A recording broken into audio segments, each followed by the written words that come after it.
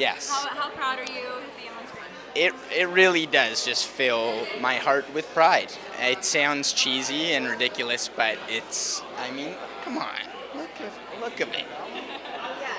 Safe to say you're excited to see the movie? Yeah, yeah, I really. I've, I've only seen little clips, and I'm really, really excited to see the full thing put together. Did you Yeah. give him any advice acting? Well, yeah, I, I taught the kid everything he knows. Of course you did. Of course you did. And you know, so this is a robot movie. Sean was saying you're in a robot movie. Anything you can tell us about it, or no? not yet? Uh, well, there's a yellow car might make an appearance at some point.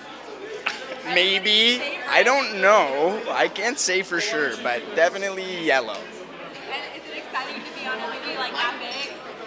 It's yeah. I mean, it's incredible. The it's the production quality is like really palpable. Working on set, and everyone's really, really amped about making something that's really great. And yeah. Do you have any other projects besides that? Uh, yeah, yeah. I'm I'm in the works in between all kinds of different scripts right now. Yeah. Well, nothing that I can put on the record just yet.